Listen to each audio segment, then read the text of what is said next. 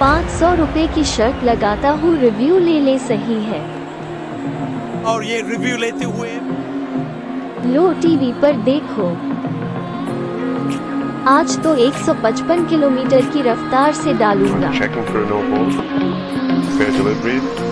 No problem. Yeah, definite flight.